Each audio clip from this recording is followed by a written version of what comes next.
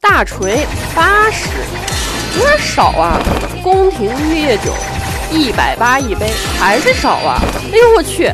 自行车八千充值点，这还要啥自行车啊？这我玩的这个啊是个变态返利版本啊，无需任何条件，仅需做至尊特权任务就能获得自动回收功能，可以直接兑换大量充值点以及元宝钻石。兄弟们，好夫不怕火炼，感兴趣的就上服体验。